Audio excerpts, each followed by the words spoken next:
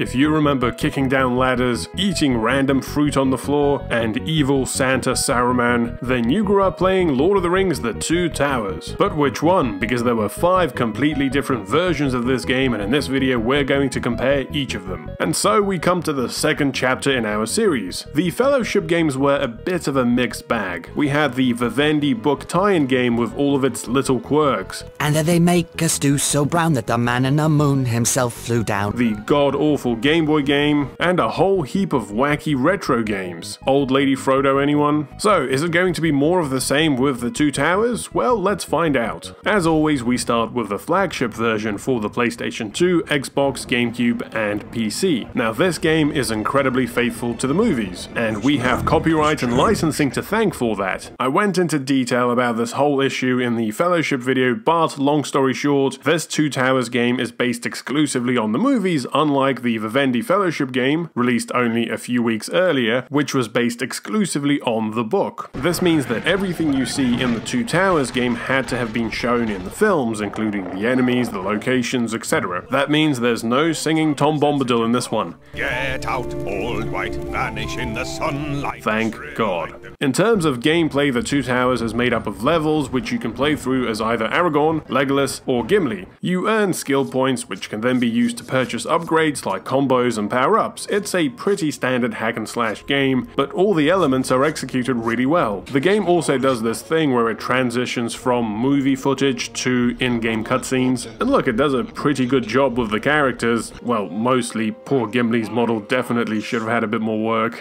Now, you may have noticed that I keep using the plural term films and movies. That's because the first five levels of the Two Towers is actually from the Fellowship of the Ring. You see, EA never released a tie-in game for the first movie, so they decided to cram a few levels into this game. I've already covered these levels in my Fellowship video, so I'll start from the first Two Towers level, which is Fangorn Forest. This is a pretty standard hack and slash level, which ends with this river. Hold on, I think I've played this one before. Look, there's even a hidden cave behind the waterfall, only instead of a scantily clad spy lady, I get uh, another troll. We then move on to the Plains of Rohan, where you have to kill all the enemies before they deplete the health of the um, women and children. It kind of looks like the women and children are the actual boss. What's cool is you get Gandalf as an assist character for about 10 seconds. You must press on. I am needed elsewhere. No, don't go! Ah, damn it, he's used instant transmission. You see, the problem with these Rohan folk is that they never actually learned to turn left. I'm trying, but this burnt piece of wood is just too strong for the Sword of Gondor. Now, if you screw up, the game will just force you to watch this unskippable cutscene of the Uruk-hai killing all the villagers. And boy, have I seen this cutscene a bunch of times growing up. Now, there is something really satisfying about mowing down these orcs and then finishing them off with the R2 button. Oh look, Gandalf's back.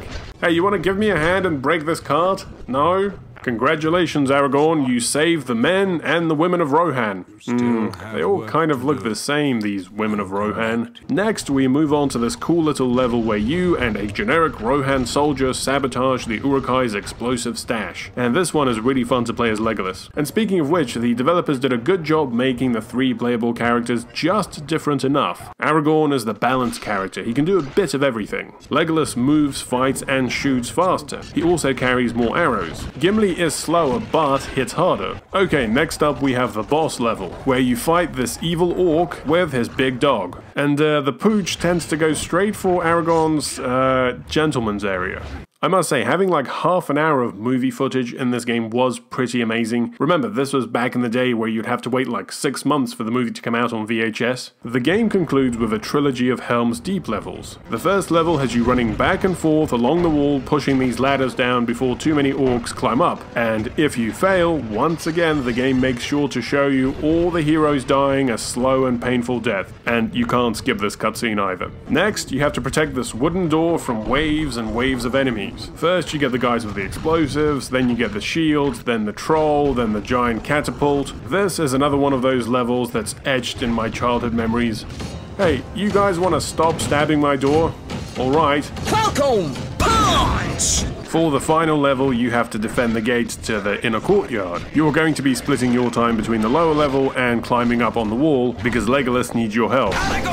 Seriously? You're telling me you can take down an entire elephant filled with bad guys, but you need help with these, what, three Uruk-hai? Now, this was another level I was too stupid to beat as a child, until a friend at school actually told me that you have to take out the archers on the other side of the wall. Back down at the door, you find this group of orcs just having a mosh pit to the side. Look, they're not actually fighting anyone. And uh, that's uh, pretty much it. Gandalf turns up and saves the day, and you get a tease for the next game. The Two Towers is a short game, but it's filled with extras. For example, you can actually unlock Saruman's tower and fight up 20 levels. Eventually, you chase the White Wizard all the way to the top, and he's pissed. Why must you insist on breaking into my house? As a reward, you unlock Isildur, who you can use to play through the campaign levels. Damn, he's got some nice parachute pants. In addition to that, you get a bunch of other extras, like interviews with Peter Jackson and the actors, making of the game, making of the movie, still images, concept art, and a bunch of other stuff. Plus, they actually use the movie actors' voices for a lot of the in-game characters. Most people will probably remember Return of the King as the standout game from the movie trilogy, but The Two Towers really set the groundwork for that game. For example, this game will give you a companion for most of the levels. You can tell the developers probably intended this to be a two-player game, but they just ran out of time. And so this feature would of course be added to the Return of the King game and become one of the best things about that game. Okay, moving on, EA also released a version of Two Towers for the Game Boy Advance. And straight away things start pretty promising. This version was developed by Griptonite Games, who did the first three Harry Potter Game Boy RPGs. There are a bunch of characters to pick from, each one with a different campaign. Well, kind of, we'll get to that later. We've got Aragorn, Legolas, Frodo, Gandalf, and Eowyn. Unfortunately, no love for poor Gimli. Look, they even took him off the cover of this game. Now, this version does also start at the Fellowship of the Ring, and I was tempted to cover those levels in my Fellowship video, but it was already kind of getting long, so I saved it for this one. So let's start with Aragorn. His first level takes place just outside the Mines of Moria. This game is an isometric hack and slash adventure. You go through levels taking down enemies and collecting their droppings. Well, you know what I mean. And uh, they'll drop anything from gems to weapons to armor. Oh nice, fruit in a barrel, my favorite.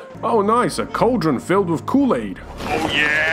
Over time, you'll get progressively better weapons and armor. Hmm, looks like this orc was wearing a pretty trendy leather jacket. The game also has an attribute system, similar to Dragon Ball Z Buu's Fury, where you get to choose which skill points to assign to your character. Oh, what's going on there? There must be another path. Look, he takes a few boulders to the face and suddenly we've got to turn back. Um, did someone drop a giant head? And so the Fellowship make it into the Mines of Moria. This place is a tomb. Aragorn should go ahead. F you, old man. Why don't you go ahead with your big stick and fancy spells? Every now and then you'll come across a splattered dwarf. Wow, that's pretty brutal for a kid's game.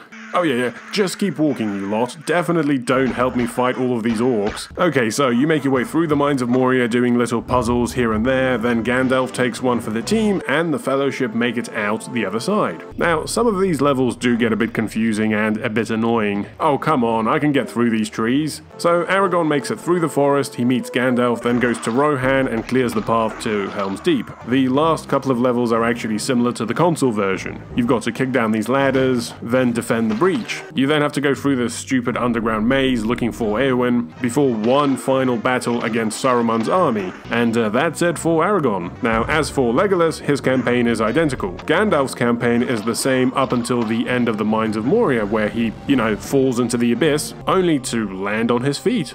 What a legend. You then have to track the Balrog by his footprints. Hmm, still fresh. And uh, then you finally track him down to his uh, bedroom? I mean, he's got a, a, pretty decent view of the mountains. And so you beat the Balrog and suddenly, bam, Gandalf the White. And uh, the rest of his quest is very similar to Aragorn's. We then get Frodo, three quarters of his story is the same. Um, Excuse me, Aragorn, do you mind helping me with this guy? And then the last couple of levels have Frodo going through the marshes. Um, Sam, this uh, puddle's on fire. And then he also goes through Mordor. Also, Frodo's got the ring, which makes him invisible for a bit, but be careful, using it too much gets the ring wraiths to come after you. Oh no, just fuck off you lot. Great, now I've got the orcs, the crows, and the damn dementors after me. And then we finally get to Eowyn, who has a much shorter campaign, and most of it just consists of running around Rohan, fighting orcs, and saving villagers. And that's the Two Towers game for the Game Boy Advance in a nutshell. It's one of those games I remember grinding away at in the back seat of my parents' car as we'd go on road trips. And just like its big brother, this game also laid down the foundation for the Return of the King game.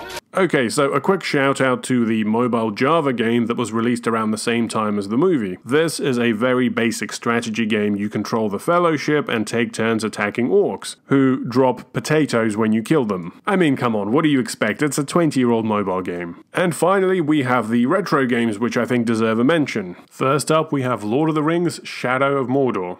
Wait, that's not right. Oh, it's Shadows of Mordor, a software adventure. This is a sequel to The Fellowship of the Ring, a software adventure which we covered in the last video. Now, let's see if I get on better with this one. Who do you want to play as? Uh, Sam, I guess. Smeagol enters, Smeagol sneaks off into the bushes. What is this, a tongue twister? Anyway, throw Smeagol off a cliff. He doesn't know how to do that. Well, there's your problem. Moving on, there was also a sequel to the other MS-DOS game, you know, the one with trippy artwork, which has been carried over to this one. The Beatles are on their way to destroy the One Ring, but Evil Santa has something to say about it. There's not much I can say about this game, it's one of those old MS-DOS RPGs you walk around a lot and get into turn-based fights. It seems to be pretty faithful to the book, but it didn't sell enough to warrant a sequel. And so there we have it, every version of the Two Towers game. I must say, things are a bit more streamlined this time around, mainly due to the poor sales of the first installments. There are less retro games and no Vivendi sequel, which pretty much just left the Electronic Arts games. And they're both pretty good in their own right. As I said, they lay the foundation for one of the greatest tie-in games ever made, but we'll get to that one next time. Meanwhile, please let me know your memories of the Two Towers games in the comments, and most importantly, who is your favorite main? Die-hard Gimli fans, this is your chance to be heard. As always, thanks for watching, please remember to like, subscribe, hit the bell, and follow me on Twitter. See you next time.